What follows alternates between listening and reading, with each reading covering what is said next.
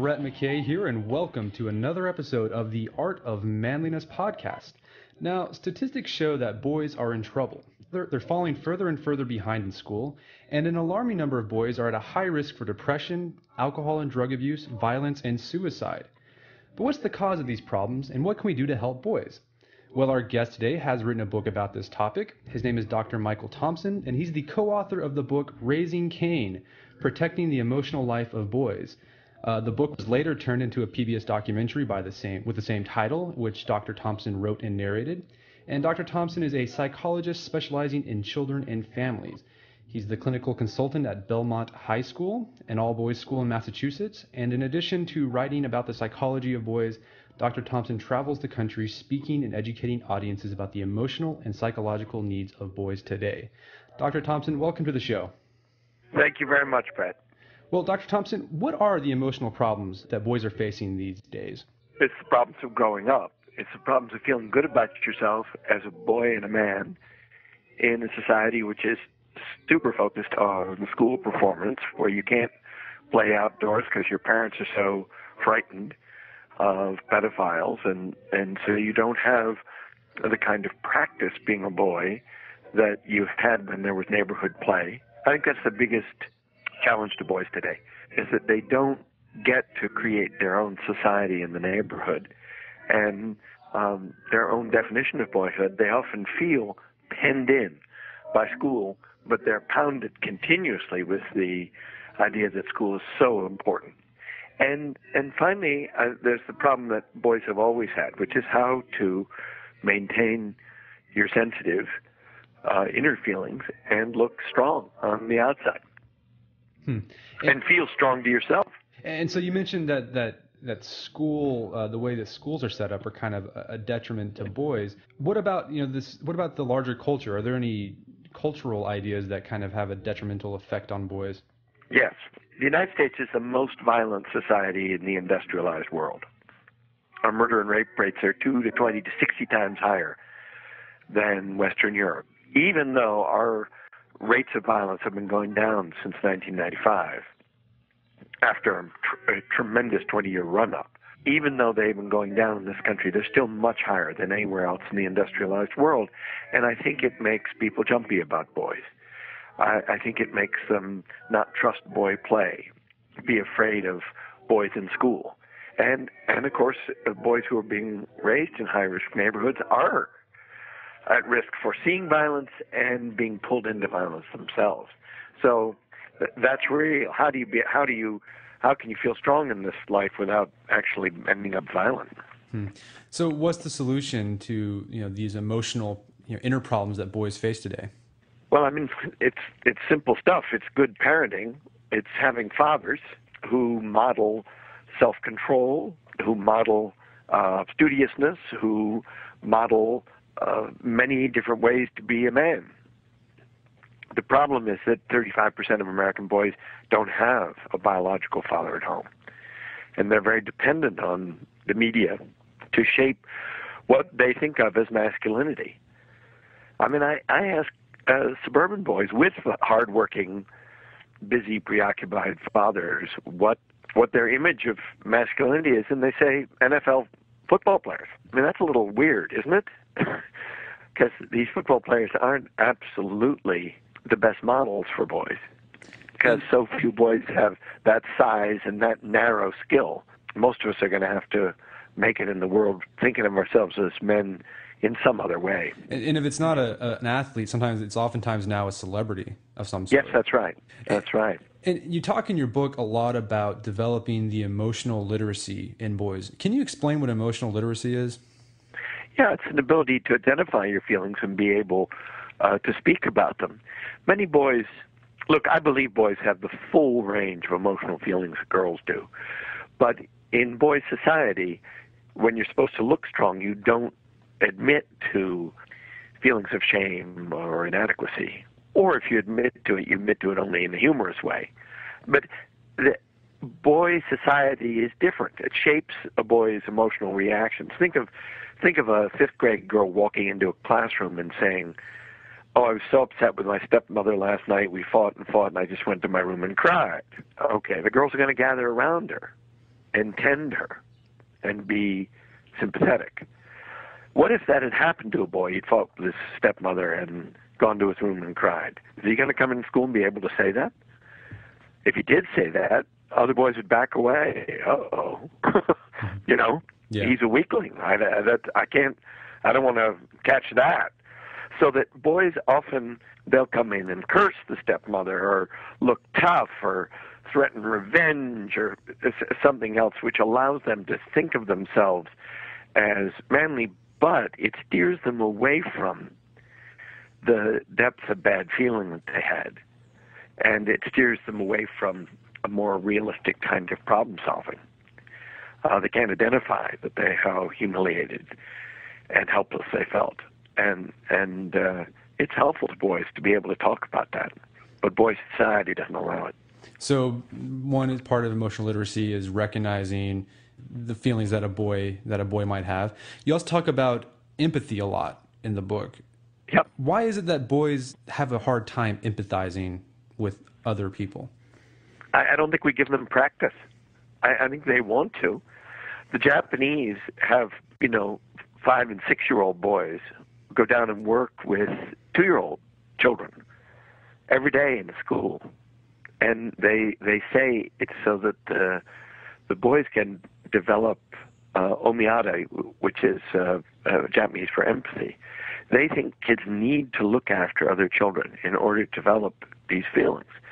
As I say, if you're taking American boys and you're putting them on competitive town soccer teams at five and six, they never have it. You're you're raising them to to be ferocious and competitive, but not empathic. Dr. Thompson, I, a lot of people will hear this and think, okay, that's fine, and you know, it's great. We should teach emotional literacy and to boys, but it sounds like we're just turning them to little girls. Um, how would you respond to that? I mean, is it possible to teach emotional literacy while encouraging masculine strength in boys, kind of their innate boyish characteristics? You know, I had a friend who who was uh, born and raised in Germany and and teaches at Boston University half the year and teaches at this old university in Germany. And he said many American boys would be stunned by how emotionally open German boys are. This is now one of the most pacifistic countries in the world. I mean, the Germans after World War II made a huge, huge effort to redefine what was masculine and to raise German boys differently so they didn't turn out to be so warlike. And he said, you know, um, German boys are so emotionally open that American boys would read them as gay. They're not gay. Um, they're they're sleeping with girls, but they're talking to them a lot, and that uh, a culture of openness and talking is is comes from uh, the notions we have of masculinity. You know, their masculinity varies from culture to culture. What we regard as manly changes from culture to culture. There's a lot about the American de- definition of masculinity, which I like. Uh, the independence, uh, the entrepreneurial kind of do it on your own attitude. Uh, there, there are lots of things which I think are very helpful to American men. But uh, the tough, silent definition of masculinity is, of course, for a psychologist, worrisome because it means boys button down and don't express what they're actually feeling, and then they get out of touch with, with their feelings. Uh, and we're getting a lot of young male depression in late adolescence and early adulthood, and that's worrisome to me. So I try and teach boys that emotional courage is courage. Sharing your feelings requires some guts, you know? It's funny you mentioned about how uh, German men are emotionally open. It seems like there was a time in America that men used to be like this. I mean, if you go back to the 19th century, even before World War II, you would read men, you know, they were very affectionate with each other. You look at photos of men and they would have their arms around each other and sit in Yes, each other's that's right. lap and you know, write these very, you know, I, I was reading TR's diary and he, he writes, you know, he has, he, you can tell he was very in touch with his inner self and kind of the, the emotions. What changed? I mean, what happened uh, where we got a, for, away from that and into where this manliness and masculinity became kind of the stoic, silent type? Was it World War II that happened that caused this? I, I'm afraid I don't know. I don't know the answer to that. I, I think it would take a social historian or a social critic uh, to know. But I do think that the definition of masculinity changed from when uh, I'm 62 years old. To, when I was a child, there were TV shows with, um, you know, warm-hearted fathers, uh, and including a show called, which I used to watch regularly, called Father Knows Best. and somebody uh, did a study of um, TV sitcoms some years ago and found that of 112 fathers on TV shows, there are only about seven of them who are competent. The rest were uh, boyish, adolescent, irresponsible, nitwit, uh, or irresponsible fathers. I mean, which father, if you were a boy and you were watching Two and a Half Men, w- w- which of those two men is a is a man you can admire as a father figure? Yeah, well, I don't think either of them is that that great, but right. I mean, there's a the ninny, yeah. the real father of the boy, and then there's Charlie Sheen, right? Excuse me. Yeah. You know, he he's a permanent seventeen for life. And, and why do you why do you think? I mean, going on that that that that tangent there. I mean, why do you think we put fatherhood out that as kind of you know being a dad means kind of being the dumb, overgrown child and just another kid in the family? Why why do we love that so much in our society? I don't know. It's very painful to me. Yeah. I mean, why do we? You know, why why did the media grab hold of this attenuated adolescent father? Uh, it's an all the beer commercial. You know, the women are responsible and the men are nitwits. Yeah, it's something I think that's frustrating a lot of men men these days. And, and speaking of, of dads um, and fathers, what is a, a father's role in teaching emotional literacy to their sons? I mean, what can dads do? I think as a father, you say to your son, you know, I was scared in middle school sometimes. I was worried about bullies.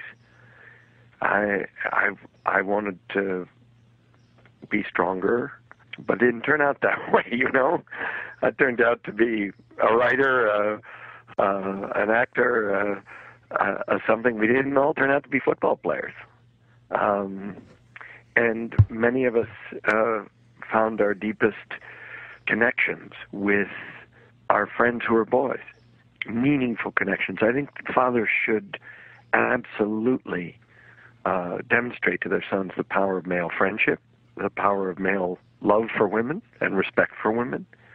I mean, they're they're just you have to show a boy what a real man is, not the two-dimensional kinds of characters you you see in sports.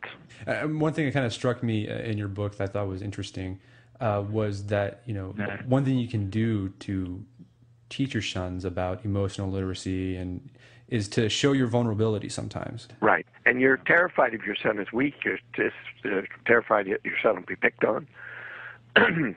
but uh, it's better to say uh, uh, what you faced and how you met it with resilience.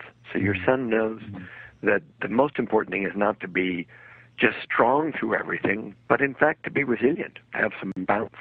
So, uh, Dr. Thompson, you work with uh, boys at an all boys school. What are some things that parents or dads can do to help their sons in school? Because it just seems like uh, boys are falling further and further behind. I mean, there's you can go every month. You read an article or see something on the television about how test scores amongst boys are falling down, graduation rates are going down for boys. Right. So, uh, well, it's you know, it's dads who uh, want to send their sons upstairs to do their homework, and they sit downstairs watching you know, basketball or ice hockey, that won't work. We know that fathers who do their homework with their sons um, get have sons who get higher grades. We know that fathers who attend school PTA meetings and come to things other than town sports have sons who get higher grades. We know that sons um, whose fathers read to them at night do better academically. So I think when you have a little boy, you shouldn't always let the mom read to them. You should go up and read to your son so that he knows being a man is being a reader. Uh, and one thing you talked about in your book too is how we talked a little bit at the beginning of the, the, interview about how schools are not really designed the way they are in most public schools aren't designed with boys in mind, and that's one of the reasons why boys are struggling and teachers struggle with behavioral problems with boys. I mean, what can we do to to to, to kind of guide our schools uh, in making them more boy boy friendly? Well, in every school I visit, and that's my work as a school consultant, um, there are schools that are gifted, uh, excuse me, there are teachers that are gifted with boys, and there are teachers who are not so good with boys. Um, and I want the, the secrets of teachers who are good with boys to be advertised, that is, highlighted. You know, this is what works with boys in the classroom.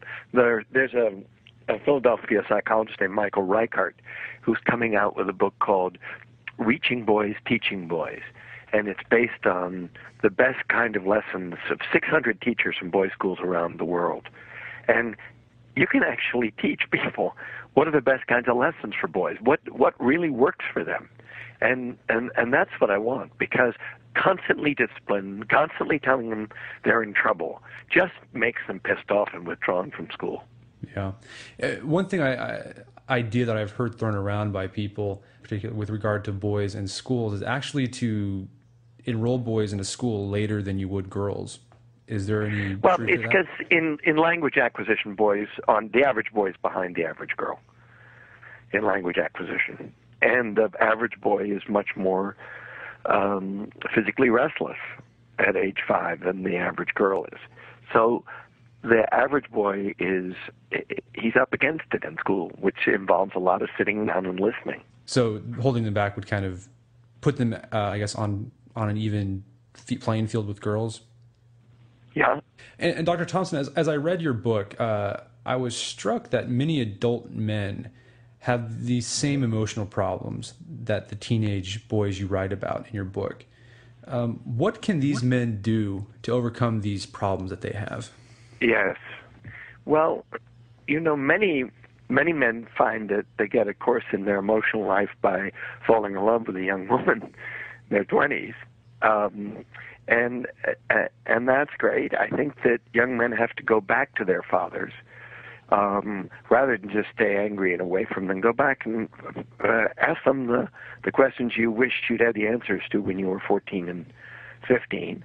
I think men have to talk with each other. I I you know I've been a member of a men's group for nine years. That's the kind of thing a psychologist is likely to do.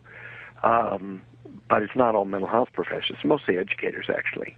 And, you know, men can train themselves to be open. I mean, the men in this group were all in their 50s when we started this. And we weren't, a lot of these are very strong and proud men, but we, we trained each other to be open to each other. And that's what I'd like to see. Hmm. And, and this book, Raising Cain, your book, was written a few years ago. Have you seen any progress since the publication of the book? Um, well, I have to believe that I'm on the road talking about the emotional lives of boys. I I, I have to hope that it's having an, an impact. Um, but I, I sure don't see it in the media. well, Dr. Thompson, thank you for your time. It's been a pleasure. Nice talking with you, Brett. Thanks. Our guest today was Dr. Michael Thompson. Dr. Thompson is the author of the book Raising Cain Protecting the Emotional Lives of Boys and you can pick up Dr. Thompson's book at Amazon.com or any other major bookseller.